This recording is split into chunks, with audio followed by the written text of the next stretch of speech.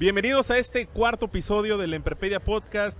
Un episodio muy playeresco, muy de Semana Santa en estas vacaciones, este- en este pequeño receso de Semana Santa. Y hoy es un día muy especial, es un día totalmente diferente porque pues no está Christian Reich, quien anda de vacaciones, que en él sí se fue de vacaciones, uno así pues tuvo que venir a trabajar acá en Puerto Veracruz, al cuatro veces heroico Puerto Veracruz, sobre todo aquí en la ciudad de Boca del Río. Pero estoy muy bien acompañado con mis amigos José Ramón y Alberto. ¿Cómo están?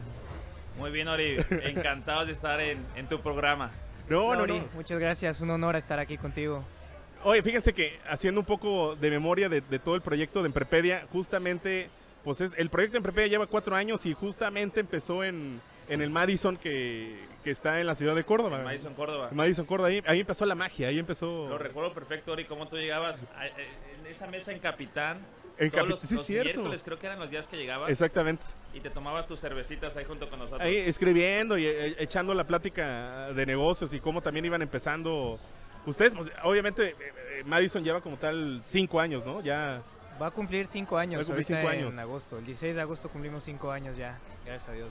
Bueno, la, la intención del episodio del día de hoy es que, que tanto Alberto como José Ramón nos compartan su experiencia en todo el ambiente de negocios, que todos los que nos están escuchando a través de Spotify, iTunes, YouTube, en Facebook, ahorita en vivo, pues que no se queden con las dudas y más sobre todo si estás emprendiendo, estás desarrollando un negocio, pues la intención es que, que salgan las dudas y que ellos compartan sus experiencias de todo este largo camino de cinco años, que casi cinco años que han recorrido y, y pues den algunos consejos. Si escuchan algo de ruido, es porque nos encontramos prácticamente a unos cuantos metros de la playa en esta excelente eh, sucursal que ellos tienen, es esta localidad que tienen de Madison aquí en Boca del Río, frente a- al, al bulevar aquí y pues est- estoy mirando yo la playa.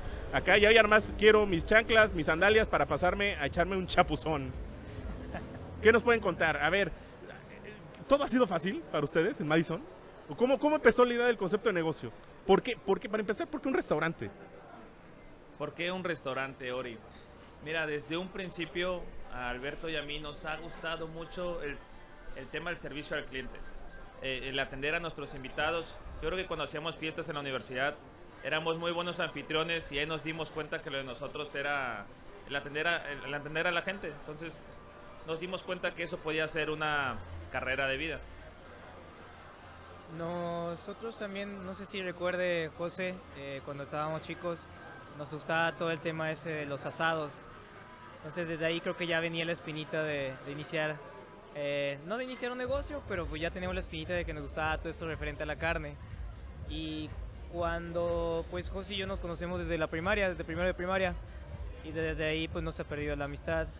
Y resulta que él en Guadalajara emprende un negocio y yo lo voy a visitar de esas, de esas veces que íbamos a... a- culturales, visitas culturales. Exactamente, digamos que culturales, fuimos a visitarlo la y, y pues yo llegué con la sorpresa de que me invitó a comer y lo primero que le dije, oye José, no, no friegues, este, qué buena carne me acabas de dar. Me acuerdo que era una rachera en tres cuartos, buenísima. Y desde ahí yo le dije, oye, pues cuando tú gustes, cuando tengas tiempo, tengas chance, pues a ver si en un futuro ponemos algo juntos. Y ahí quedó la plática. Lo seguí visitando otras veces a Guadalajara, como dices tú, culturales. Y pues ya en algún día, pues Porque para, para aquel entonces hay que aclarar que estaban haciendo cosas totalmente diferentes a emprender. Bueno, desde ese entonces yo, está, yo estoy en Guadalajara. Yo estudié una carrera completamente distinta a lo que me dedico actualmente. Yo soy contador público y finanzas del Tecnológico de Monterrey, orgullosamente. Y, y yo me empecé a dedicar al tema de la carne de Guadalajara.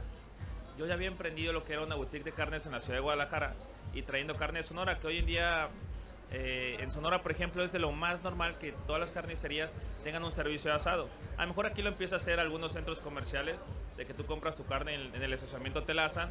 En Sonora, pues todas las carnicerías hacen exactamente lo mismo. Y la idea era traer carne de Sonora a Guadalajara, tener nuestro servicio de asado y además tener un pequeño servicio de comedor. No éramos como tal un restaurante, pero sí atendíamos a nuestros clientes y ahí les ofrecíamos con guacamole, con una salsa y la misma carne que nosotros les asábamos, la podían consumir ahí. Ese negocio que cuando, que cuando Alberto me iba a visitar en sus visitas culturales, por así decirlo, Por así porque decir, este visitas podcast quizá lo escuche su, su hoy esposa, eh, fue lo que él conoció y él fue el que me dijo, ¿sabes qué? Cuando lo quieras poner en Veracruz, pues yo quiero participar junto contigo. Y así fue cuando yo me decidí a regresar a la ciudad y, y seguir, seguir trabajando en este tema que llevaba tres años haciéndolo, pues en la primera persona que pensé fue en Alberto. ¿Sabes qué? Si lo voy a hacer en Córdoba, pues lo quiero hacer con Alberto. Oye, pero ¿cuál fue así como que la chispa que dijo, Ingesu, vamos a, a hacer el proyecto? Pues mira, la chispa, no creo que fuera una chispa, más bien era como que José tuviera la, la decisión de... Yo se lo planteé, yo siempre estaba disponible. Yo de hecho, yo tampoco había emprendido en ese tiempo, yo estaba... eh, en esa etapa fueron dos las mías, una que estaba trabajando yo en Puebla y de ahí me fui para Córdoba, me fastidié estar allá, decidí poner mi negocio de... Yo soy diseñador gráfico, este, egresado de la Ibero y decidí poner mi negocio de un despacho de diseño. Empecé a trabajar ahí, yo seguía visitándolo. Entonces, pues en sí, yo nada estaba esperando que en algún día me dijera, oye, pues ya, ¿sabes qué? Vamos a aventarnos. Vámonos. Yo estaba puesto. Simplemente por la amistad que hay, pues yo en ningún momento le insistí ni nada, pues cuando él quisiera, o sea. Y seguimos cada quien, él, él emprendió su negocio, yo estaba con el mío y pues en algún momento la llamada inesperada. ¿Y el primer paso qué fue? O sea, prácticamente para... Mira, fue algo bien sencillo, porque Alberto y yo ya sabíamos que queríamos, qué, qué tipo de negocio queríamos y que sabía que queríamos trabajar juntos. Era buscar un local. Lo primero, lo primero ya teníamos el concepto del negocio, ya sabíamos que iba a funcionar, pero era buscar un local. Eso fue lo que yo creo en un principio nos costó tanto trabajo. Y yo creo que el haber encontrado el local que tenemos en Córdoba, desde ahí fue gran parte del éxito. Ese local lo encontró Alberto, por cierto. Nosotros no habíamos visto ese local y andábamos buscando por varios lados por la ciudad y, teníamos uno visto pero no era ese y entonces una vez que estábamos dando vueltas ya casi a punto de rendirnos nos íbamos a ir a comer cuando pasamos por, por el local y Alberto ve una casa que sí hace renta y en ese momento nos detuvimos pe- pedimos el- eh, apuntamos el teléfono marcamos en la tarde y, y nos encantó lo que nos dijeron no Sí, lo que pasa es que la zona donde nosotros conseguimos el local, pues era la zona que estaba creciendo en Córdoba, es la colonia San José. Y pues obviamente las rentas pues eran caras. Y pues nosotros como estábamos apenas iniciando, pues todo lo teníamos muy justo. Y decíamos, no, pues no podemos pasarnos de una renta de las que están cotizando aquí. Pero pues dice uno, todo se junta para, para el bien. Y cuando hablamos, pedimos informes, el precio que nos ofrecieron o nos dijeron, pues nos quedaba... de a maravilla toda. Maravilla. Sí. Ahora viene el modelo de negocios, porque y algo que he platicado muchas veces con ustedes es que veo que esto es algo totalmente único, porque restaurantes, pues, hay miles de restaurantes, ¿no? Que vendan carne, también hay miles. Pero siempre he dicho que este en particular tiene un modelo bastante interesante, puedo decirlo hasta, hasta exageradamente rentable, porque es un restaurante que está abierto pues 12 horas, ¿no? Que hay un ciclo muy grande eh, eh, de, de- de- de duración de turnos en, en- en el restaurante. ¿Cómo se les ocurrió? ¿Qué, qué fueron que sobraron? ¿O, o- cómo, cómo pasó todo eso? Y fíjate que hoy en día lo hemos llevado al, al máximo. Intentamos rentabilizar nuestros costos fijos lo más que podemos. En la sucursal última que acabamos de abrir, que es en Coatzacoalcos, hoy en día contamos con desayunos. Entonces realmente la sucursal abre desde las 8 de la mañana hasta las 2 de la mañana. Entonces el tiempo en el que nosotros estamos este, generando y estamos siendo más rentables nuestros costos fijos es, es muchísimo mayor.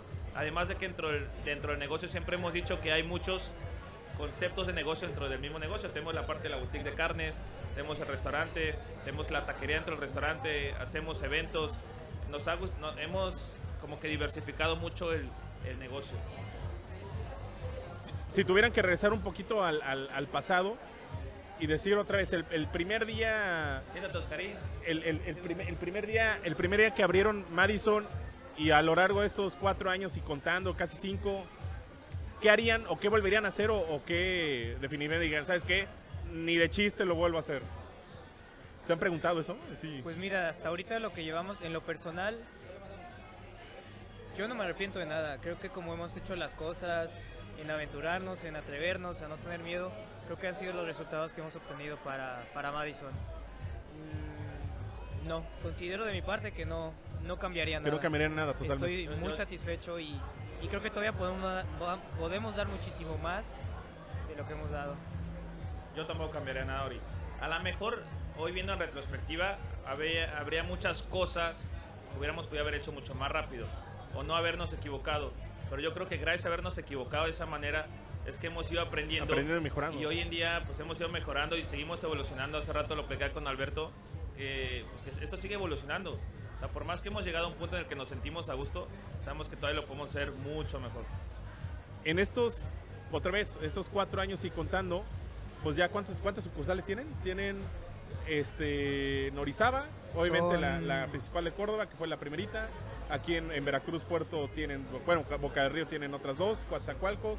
Eh, oye, en tan poco tiempo, en algún concepto que pudiera ser, pues muy, muy, muy, pues voy a decirlo, es un concepto millennial en cuanto al restaurante. El diseño, la verdad es que está muy padre y otra vez el modelo está increíble. Cómo procurar estandarizar muchas cosas, más que, pues no es como que está a la vuelta de la esquina una sucursal con la otra. O sea, cómo ustedes, como, como creadores de todo esto, han podido homologar muchas cosas para que sea replicable y tenga la misma calidad uno con el otro. Pues mira, hasta ahorita seguimos trabajando en eso. Te podemos decir sinceramente que nos ha costado trabajo.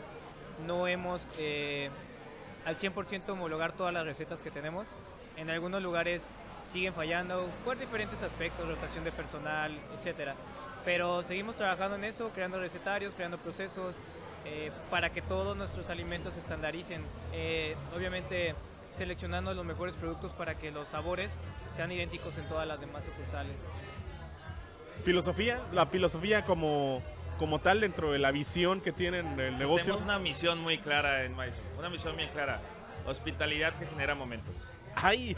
Esa, esa es la Frase la matona. misión. Sí, no, es la frase matona del día de hoy. La frase mató del día Mira, de hoy. fíjate que de lo que más nos costó trabajo, y lo hemos escuchado en varios lados, luego es de la misión, y creo que lo oíamos en un, en un podcast de ustedes, ¿no? De que la, la misión a veces como que es algo que dejas a lo último y pareciera que es lo que primero que te enseñan en, en- en la carrera. Y sabes que eso no lo necesito, lo voy a dejar para después. Pero una vez que tú la encuentras, todo lo demás es mucho más fácil. Cuando tienes algún, alguna problemática, piensas en tu misión y eso te permite, eh, eso te, solucionan, te soluciona la mayoría de los problemas. Y esa misma misión se la queremos inculcar pues, a todos los colaboradores que tenemos nosotros, porque lo más importante son nuestros invitados. Y queremos hacerlos pasar un momento excepcional y ponernos en el lugar de ellos y que disfruten lo que hemos construido para ellos. Y todo lo demás así se resuelve. Cualquier problema que haya en la, que haya en la empresa, siempre, ¿cómo lo resolvemos? Pensando en el invitado, lo que más le convenga al invitado y ahí tenemos la solución. Oye, en este tema de, de- del servicio al cliente, pues una variable importantísima es el tema de- del personal o los colaboradores que, que están ustedes. ¿Ustedes cómo controlan eso? Porque pues lidiar con personas es difícil, ¿no? Y más si, si, si puede haber hasta diferencias dentro del las mismas, el mismo estado, hay diferencias entre ciudades Completamente. completamente, pero ¿cómo, ¿cómo le hace para controlar esa variable? Creo que di ahí el, el- el limoncito en, Sí, nos en la tiraste, herida. nos tiraste en la herida. Es, es un tema complicado. Si te vas al puerto es un- totalmente diferente. Cuatza, entre Córdoba y Izaba, te puedo decir que hay pocos kilómetros, 15 serán. Este, es, es muy diferente el personal. Yo creo que mientras nosotros inculquemos lo que es la misión a nuestro personal, eh, van a saber lo, que queremos, eh, lo que queremos transmitir a nuestros invitados. En la parte de rotación, pues siempre es tratando de trabajar para conseguir a, los mejores colaboradores, colaboradores comprometidos, colaboradores que se apasionen de su trabajo, eh, colaboradores que den más, que den más no, no a nosotros, sino a nuestros invitados. Pregunta, tanto para Alberto como para José Ramón, ¿qué sigue? O sea, más allá de Madison, la, intención en, los negocios, la intención como filosofía de vida, ya en un tema más personal, gracias a lo que han llevado a cabo, ¿qué, es lo que sigue? Seguir en este tema de expansión, abrir otras cosas totalmente diferentes o hacia, hacia qué camino los lleva todo esto. En la parte profesional definitivamente queremos seguir creciendo. Queremos seguir creciendo la marca, queremos seguir creando nuevos conceptos. Creo que encontramos nuestro... Aquí encontramos nuestra pasión. En ese negocio encontramos nuestra- pasión, encontramos lo que nos gusta y de aquí ya no queremos movernos. Sabemos que la marca Maison es una marca que, que todavía puede crecer exponencialmente y en eso estamos trabajando. Queremos crecer eh, este mismo año dos, tres sucursales más. pero principalmente seguir atendiendo a nuestros invitados, seguir trayendo conceptos nuevos y que la gente los disfrute, eso nos tiene bien contentos. Eso nos tiene bien contentos. Lo disfrutamos mucho. Este negocio cuando lo creamos nunca fue por dinero, yo siempre lo platico eso, nunca fue por dinero. En su momento ni, siquiera nos preocupábamos en cuántas utilidades íbamos a generar o cuánto dinero íbamos a recibir. Queríamos hacer el, mejor lugar de Córdoba, donde la atención fuera la mejor, donde la comida fuera la mejor, todo siempre de la, de, la mejor calidad y lo demás iba a llegar solo. Y, así sigue siendo, creo que hoy en día Alberto y yo no nos preocupamos tanto por cuántas utilidades generamos. Claro que son importantes y claro que eso nos ayuda a seguir creciendo, pero el dinero está en la empresa. El dinero está en la empresa. Lo que decimos a nuestros colaboradores, miren, señores, este se los dejamos muy claro. A nosotros el, dinero pues, no, es, segundo plano. Mientras nosotros tengamos felices a nuestros invitados, los tratemos de la mejor manera que podamos, eso viene después. Y va a llegar. Y va a llegar. Pero lo primero son nuestros invitados. Siempre van a ser ellos. Oye, y a todo esto replantean las juntas, cada cuánto, cuánto, cuánto lo llevan. O sea, hablando de eso, justamente. El, año pasado, es algo que platicamos Alberto y yo, no crecimos tanto, pero fue a propósito. Lo que queríamos nosotros es, nos dimos cuenta que habíamos crecido muy rápido y que para poder controlar todo lo que teníamos, teníamos que generar una estructura nueva. Entonces, esta estructura nueva creamos un área de mercadotecnia, creamos un área de finanzas, creamos un área fiscal, un, área de operación para eh, pues cada vez este, pues, tener esto un poquito, un poquito más controlado, ¿no? Y, poder disfrutar también esto un, poquito más. Exactamente. Con ese staff que hemos creado, pues es la parte de nos va a apoyar. En ese proceso estamos en la, parte de crecimiento ya eh, un poquito más acelerado. Eh, por ejemplo, hablando de juntas, pues tenemos juntas todos los días lunes, desde las 8 de la mañana hasta como las 7 de la, tarde-noche. Eh, ya también los martes se volvieron juntas. Que no son lo ideal, ¿eh? Nos estamos dando cuenta. Yo creo que estamos nosotros cursando todo la carrera de administración nuevamente y estamos cumpliendo y desechando todas las teorías que han pensado los máximos pensadores. ¿Qué funciona y qué no funciona? ¿Qué no funciona? Hacer juntas. Creo que no son tan... Es, mejor estar actuando y que las juntas sean muchísimo más eficaces que tener juntas de todo un día a lo mejor en el, en el que no llegas a, a nada. Hoy día estamos replanteando nuevamente todo nuestro modelo de control porque no estamos obteniendo los resultados que, que deseábamos. Seguimos aprendiendo. ¿Fácil delegar? ¿Ha sido fácil delegar? Lo más complicado que te puedas Pues está el dicho este, ¿no? Quien quiera tienda, que la tienda. Es lo más complicado que nos ha... Yo, yo personalmente digo que es lo más complicado que nos ha tocado. Pero, pero es por un tema propio de, la característica del negocio o es porque son muy perfeccionistas o, o, cuál es el motivo que... Parte considero que somos perfeccionistas y nos gustan las cosas que salgan bien y parte de que, como hablamos, el recurso humano normalmente no va a cumplir tus expectativas como tú las quieres, porque tú, quieres, tú, sabes lo que quieres de tu negocio. Y el, el, problema es ahí transmitir a esa persona para que lo cumpla al 100%. Una, una opinión muy personal es de que en nuestra empresa, gracias a Dios, tenemos mucho talento y hemos podido delegar ciertas funciones a estas personas que tienen mucho talento dentro de la empresa y nos han ayudado a crecer. Pero también es bien complicado, siento yo, en, esta, en esta región del país, encontrar talento encontrar talento, encontrar este, personas comprometidas en quien puedas delegar ciertas funciones. No, no ha sido tan fácil, ha sido, ha sido complicado. pregunta, y para ir cerrando estos 20 minutitos, 25 minutitos de, podcast, cinco tips, cinco consejos a quien quiere emprender, quien quiere entrar a este ramo de, los restaurantes, este ramo de, la comida. Sí, cinco consejitos que, otra vez, si ustedes le preguntaran al inicio. Yo te doy el primero. Es, hay que trabajarle muchísimo.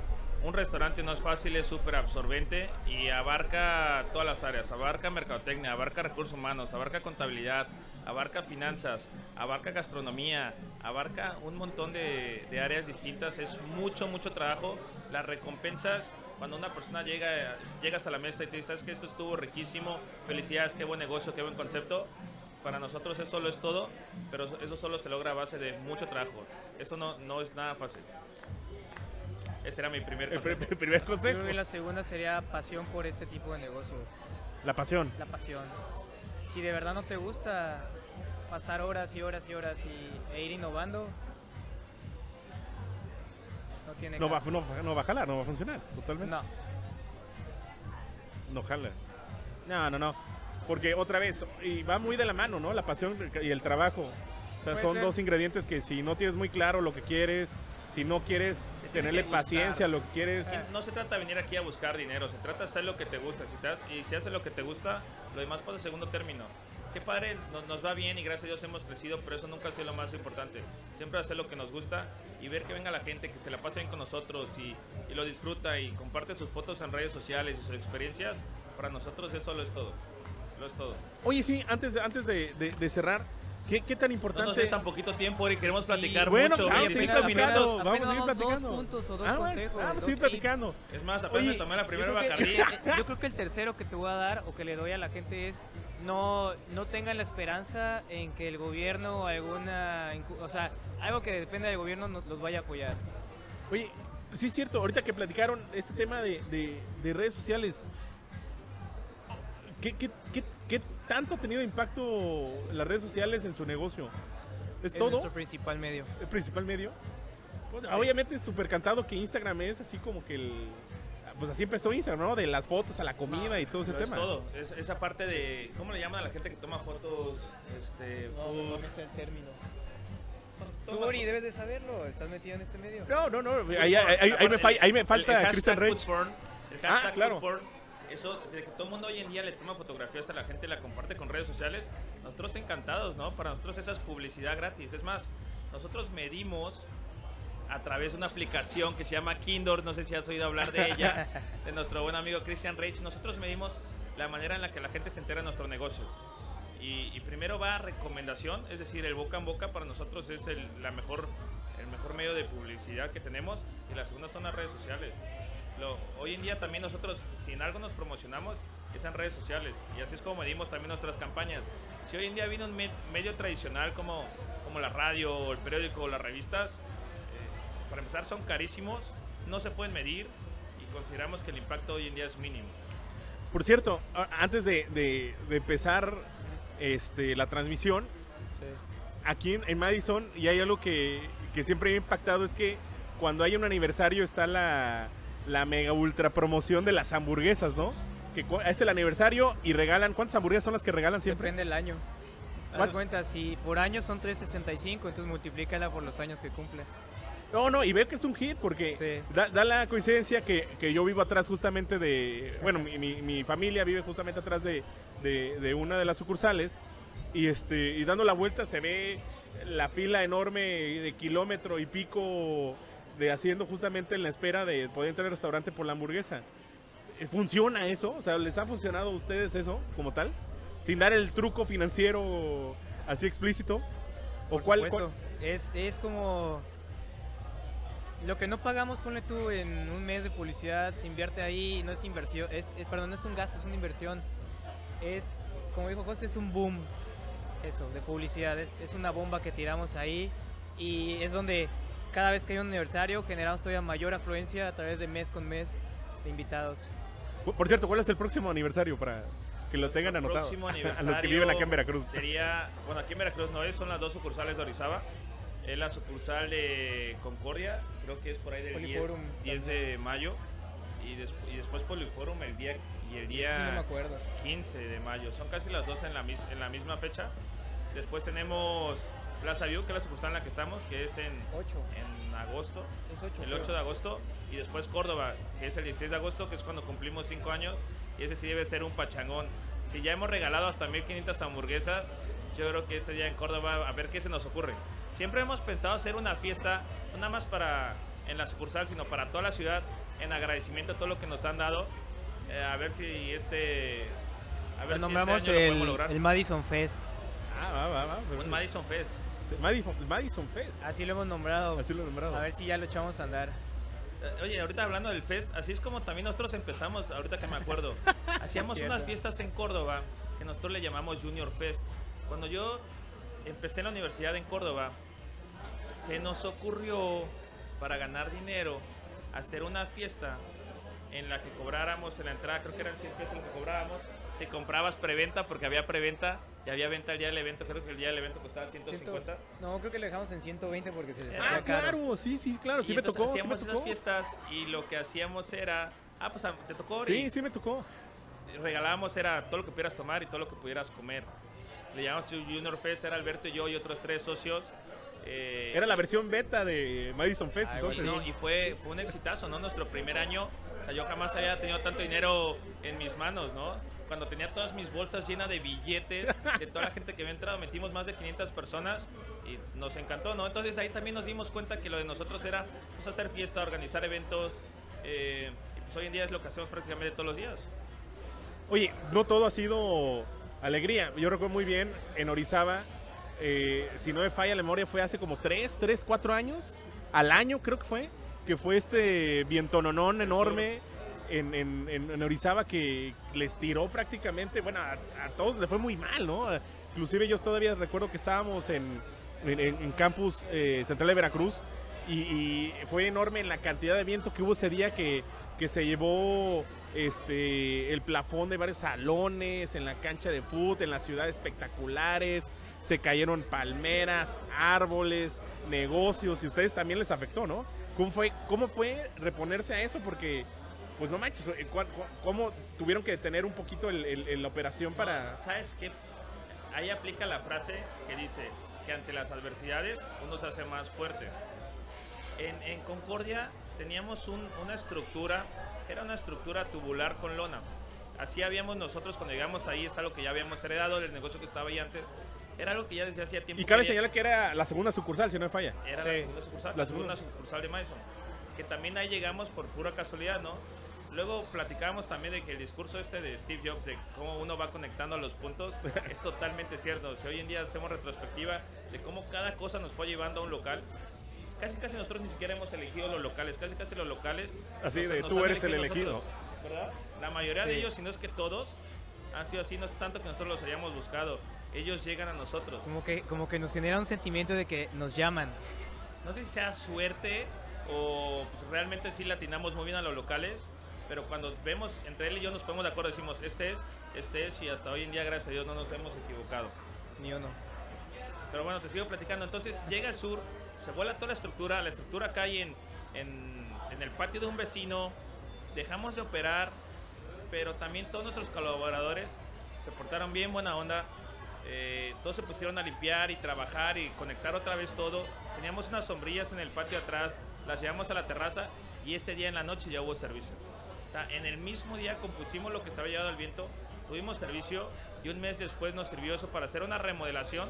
Hoy en día se hizo una estructura de doble piso en, en Concordia y nos fue todavía mucho mejor. Por eso digo que ante las adversidades o en los momentos difíciles es cuando uno se hace más fuerte. Y eso fue totalmente iniciativa de, de los colaboradores. Sí, claro de ellos. Así de comprometidos estaban.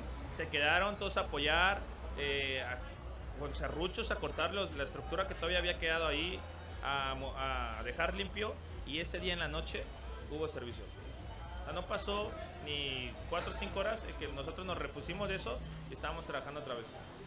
Oigan, hablando de eso, veo que también tienen otro formato de, de restaurante. La, la, pregunta es, ¿no, se, ¿no hay un tema ahí de canibalismo entre entre Madison y, el otro restaurante, que se me fue ahorita el nombre. Capitán. no, el, el, que es de tacos, puros Betty Pepe. Betty Pepe. Ahí no hay competencia interna entre, entre como tal el concepto de negocio. No, fíjate que cuando José y yo planeamos un nuevo proyecto, una nueva marca, lo que buscamos es que no compitan entre ellas. Es decir, si cuando creamos Capitán, pues decimos, no tenemos nada de mariscos, vamos a crear algo de mariscos.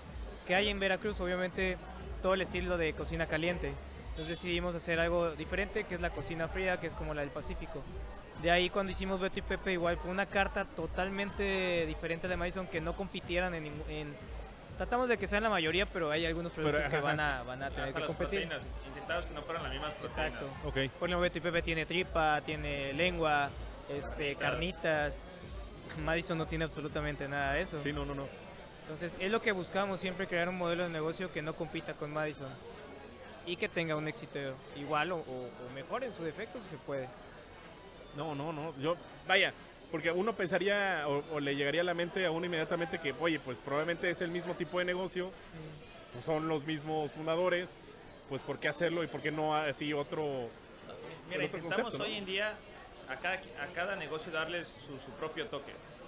Eh, además de que lo interesante aquí es que nosotros buscamos diversificarnos, ¿no? En vez de que venga otro restaurante aquí a la ciudad y de repente sea, sea la moda, porque eso muchas veces pasa, los restaurantes son moda, y es lo que luego nosotros nos preocupa cuando llegamos a una nueva plaza. No queremos que nuestro restaurante sea una moda, queremos dar el mejor servicio para que nosotros pasemos esa, esa curva eh, ascendente que es una moda y nos podamos mantener. Pues mejor nosotros generar nuestra propia competencia. Porque estamos literalmente a, a una cuadra del restaurante y pudiera ser un negocio muy parecido, pero como es Alberto, son proteínas distintas y mejor ante, antes que alguien venga y ponga la competencia, mejor la, la ponemos nosotros mismos, ¿no? A lo mejor si nos dividimos un poquito el mercado, eso era nuestro miedo en un principio, pero al final de cuentas creo que todavía Madison se hizo más fuerte.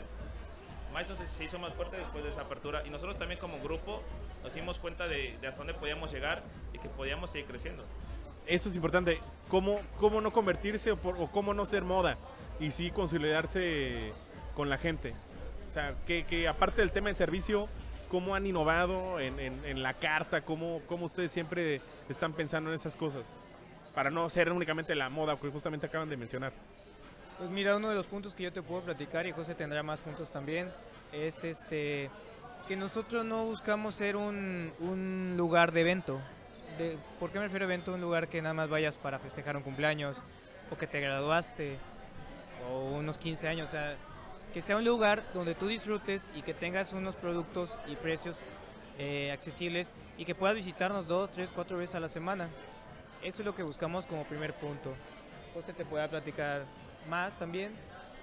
Sí, exacto, eso que dice Alberto, buscamos que para empezar seamos un lugar muy inclusivo. Hace rato tuvimos una reunión con unas, unas personas que, que, les gustaría invertir con nosotros, que nos platicaban, oye, pero ¿cuál es, cuál es el nicho de mercado de Madison? Y es una pregunta que siempre se nos ha hecho súper difícil de contestar. Porque no queremos decir un rango de edad específico, no queremos decir una clase en específico porque sentimos, o cuando menos nosotros así visualizamos, la marca que podemos abarcar un sector grande. Ponemos el ejemplo, siempre decimos que, que, tú puedes venir aquí con tus compañeros de la escuela saliendo a comerte unas hamburguesas, o con tus compañeros del trabajo a mediodía o saliendo, o puedes venir con tu novia, puedes venir con tu familia, eh, o puedes venir saliendo del gimnasio. Hay un montón de momentos en el cual pues Madison es para ti, ¿no? Porque pues tenemos cortes, tenemos tacos, tenemos hamburguesas, y, eso que platicabas tú de innovar, definitivamente Alberto y yo siempre nos la pasamos pensando qué más le podemos hacer a nuestro negocio para todavía o abarcar un mayor número de personas o que la gente no se aburra de nosotros. No sé, Alberto tendrá mejor el número, no sé cuántas veces hemos reimpreso nuestro menú o porque vemos que algo no nos gusta o porque nos llenamos ideas en la cabeza y decimos, ¿sabes qué? Queremos que la gente las pruebe, es momento de reimprimir el menú para poder este, dar a conocer todas nuestras nuevas ideas. Mira, puede ser un dato equivocado, pero mínimo unas 15 veces. Hemos wow. Entre poner nuevos productos, eliminar productos. Este, que cabe señalar que es bastante para un restaurante que lleva hacer mejoras. Casi siempre lo imprimimos por hacer mejoras. Pocas veces ha sido para, no sé, para otro tema. Principalmente nos enfocamos siempre a darle gusto a nuestros invitados. Eh, como dijo José, Kindors nos da muchas herramientas de ese, de ese tipo siempre con ella hacemos lo que nuestros invitados nos dicen. Si el invitado frecuentemente nos dice, oye, hay un baño por acá, hace falta un baño aquí, buscamos la manera de hacerlo. Si el invitado nos dice, oye, ya póngame, este, por así decirlo, mollejas en Maison, metemos mollejas. O sea, siempre vamos a hacer lo que ellos nos digan. Porque al final de cuentas es el gusto que queremos darles, ¿no? Consentirlos. Oye, hablando de eso, eh, normalmente eh, cuando yo estaba en Córdoba trabajando, los invitaba a mis clases y y cabe señalar que, Alberto me dio una clase de diseño gráfico del cómo ustedes crearon el logotipo de, Madison. Aparte, la historia es algo interesante de cómo le pusieron el nombre al restaurante como tal, ¿no? Pero que ahorita a ver si, si, lo pueden contar, cómo, cómo se crea el nombre de Madison. Pero este tema de cuando tú pienses en un restaurante de carne, pues siempre te ponen así, si es carne, el cochinito, eh, que la res, pero ustedes se fueron más allá, así como que algo más abstracto acá del, de lo que es iconizar el restaurante, el tema de boutique en, en, el logotipo, ¿no? Pues fue un tema que estábamos José y yo platicando ahí cuando era mi, mi despacho. Nos sentábamos ahí bastante tiempo, dábamos nombres, ideas, este, qué podía hacer, este, una lluvia de ideas como siempre. Y después de tanto buscarle y encontrar cuatro nombres que nos gustaban y luego ir con nuestra familia y decirle, oye mamá, oye papá, oye... Porque eso es vital, eso es vital sí, para claro. ¿Qué les generar, parece este generar nombre y marca. este nombre y este nombre? Y nos decía, no, está bien feo, este no se, va no se me va a, a- no lo voy a recordar y así. Hasta que llegamos a, a que nos gustó, que es Madison.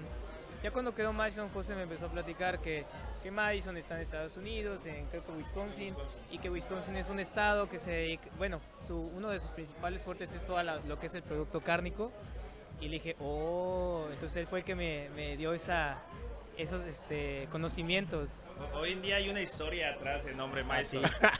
Entonces, pues ya en ese momento, pues lo que dije, pues es hora de crear el, el logotipo, nos pusimos ahí a trabajar, hacía varias propuestas, yo se las presentaba y hasta que los dos estuvimos de acuerdo en que esa nos gustaba, fue cuando se creó el logotipo, el logotipo de Mason. ¿Por qué esa tipografía? Porque es la, tip- la- me- él le platicaba mucho en la universidad que estuvo allá, entonces en base a lo que le platicaba las universidades de Estados Unidos, pues de hecho la, la- la tipografía es la que se basa en, en la que utilizan comúnmente en las chamarras de los de fútbol americano Ajá. esa tipografía. El toro, pues eh, no quisimos hacer algo lo típico, la cabeza de un toro, los cuernos o el hacha. Decidimos hacer un, un toro en una posición, eh, ahora sí que de ataque para hacerlo, darle esa fortaleza a nuestra marca. Por eso fue que lo hicimos así. El color naranja, pues porque lo marca así la, este, la teoría del color. Los tonos naranja, verde, amarillo, pues son los que se van destinados. No, Todo es crédito de Alberto. No, Todo clase- crédito de clase Alberto, de- de- de- se van diseño para los- acá. la, la comida. Pero fíjate, ahorita voy a algo bien interesante. Que nosotros eh, pusimos, el- nos pusimos a buscar el nombre y, y el logotipo a- al final. Porque muchas veces hoy veo a los emprendedores que hoy en día que lo que más se preocupan es por la imagen y el nombre y el logotipo. Ese es otro consejo, Eso ese es debería otro consejo. ser este secundario, ¿no? Claro que es importante, pero a ver, si ya tienes tu concepto de negocio, ¿estás seguro que es algo diferente? ¿Estás seguro que es algo innovador? Pues qué chingón. Pero ahora, y después te preocupas por esa parte, hoy en día como que siento que el emprendedor es blofea mucho. Siento yo que los emprendedores hoy en día blofean mucho y sabes que es más como un estatus, soy emprendedor, pero eres emprendedor de qué? No- realmente no tienes ningún Quiero salir en Shark Tank. ninguna marca. Solo dices que eres emprendedor porque tienes esta idea. Y, y de ser emprendedor a realmente empezar ya a, a trabajar es, es algo muy muy distinto. Y creo que hoy en día es algo que se- un error que se comete. ¿Se puede saber la, la segunda historia de, del por qué el nombre de Madison? Por favor. De hecho, ese es eh, algo más sencillo. Hoy en día, si alguien nos pro- pregunta por qué Mason, pues no les platicamos toda la historia de lo que nos costó y de las ciudades en Estados Unidos. Hoy en día les decimos que Mason significa Made in Sonora, hecho en Sonora. Y que, de hecho va muy apegado a lo que nosotros hacemos. Nosotros traemos carne del norte del país, eh, en piezas básicas, las porcionamos y es lo que vendemos en nuestros restaurantes. Pero tampoco se nos ocurrió a nosotros y tampoco es algo que se nos ocurrió a nosotros en el primer año y medio de, de existencia, sino una vez que fuimos a Sonora, Alberto y yo, estábamos con un este con un, con un ganadero en una frigorífica. Eh, Le estamos explicando nuestro concepto de negocio porque nos interesaba que, que él fuera también nuestro proveedor, diversificar nuestros proveedores. Y le platicamos de Mason y él nos dijo, oye, ¿qué significa Mason? Y sin que nosotros pudiéramos darle toda esa explicación larga, él solito dijo, ah, Madison, por Main Sonora. Y nosotros nos volteamos y Sí, dijimos, sí, sí, sí. claro, por Main Sonora. Y fin de la historia. Y hoy en día, si alguien nos pregunta, y pues todo el que escuche este podcast, ¿Qué? Hay sabrá la verdadera historia del por qué Quien dude de esto, de, No de nos la vaya a querer cobrar, ¿eh? No vamos a decir nombre porque, porque, porque no vaya a ser que ahí llegue la regalía, Sí, sí, sí. nos va a pedir la regalía. la regalía del- de la marca registrada.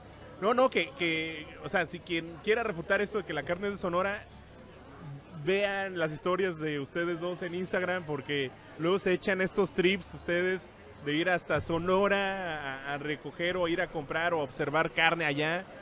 ¿Cuántos, Sí. cuántos días se echan de eso? Son cuatro días. Para que vean lo que es pasión Cuando- otra vez, ¿no? Cuando hemos ido ya, gracias a Dios tuvimos la oportunidad de comprar un camioncito, este, y nos quisimos echar el, el primer viaje con, con él, y nos echamos dos días de ida, descansamos obviamente allá, mientras nos dieron la carga, pues son otros dos días, y la vuelta son otros dos días. si ya nos queremos ir a la brava, pues son dos, ida- dos, dos días de ida, nos cargan, y si regresamos, pues otros dos días y medio, más o menos. Ahí está, para que el cliente valore el No, gran para que el esfuerzo. cliente valore, además de que ese camioncito tiene aire acondicionado, entonces imagínate, éramos tres bien pegaditos, llevamos short, y eso que empieza a rozar tu, tu pierna con la otra pierna y la pierna Se termina queriendo, ¿no? No, no, no, no, no pasó, gracias a Dios. Eh, fue una experiencia bien padre La hemos hecho otras veces, gracias a Dios no siempre manejando, hemos viajado, pero sí definitivamente nosotros mismos vamos, elegimos y elegimos la calidad de nuestra carne. Ese es el éxito, la calidad del producto. Siempre lo más importante la calidad. Si traes calidad, tus invitados o tus consumidores ellos lo valoran.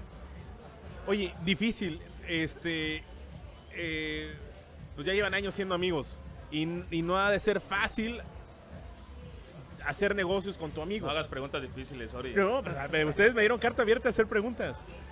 No voy a preguntar cuántas veces se han peleado, pero la- la- es otra vez el tema de recomendación. Recuerden que este, este es el podcast de confianza para la gente que quiere hacer negocio, está eh, viendo todo el tema de emprender. Pero si ahorita alguien quiere hacer un negocio y se quiere juntar con su amigo, su mejor amigo, a, a echar a andar algo, una idea, pues qué tan aconsejable es hacerlo con tu mejor amigo. Eso, eso es una pregunta muy válida en el caso de ustedes dos. ¿no? Porque Pues- ya van cuatro, cinco, casi cinco años otra vez y- y- y esto ha estado funcionando de manera, pues, visiblemente para afuera, pues, eh, de manera ca- casi como reloj suizo. Pues mira, yo creo que desde que abrimos Madison no nos hemos peleado ninguna vez. ¿En serio? Así como parejita que nos hayamos dejado hablar, no.